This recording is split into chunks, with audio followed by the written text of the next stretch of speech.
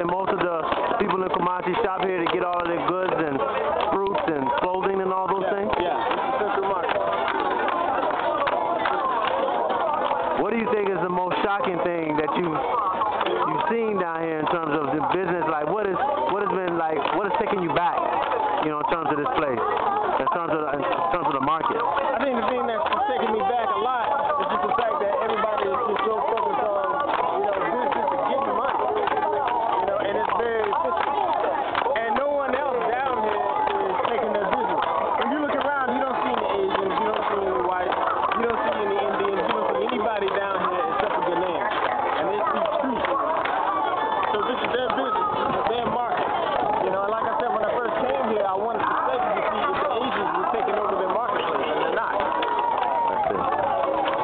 Anything else for the camera?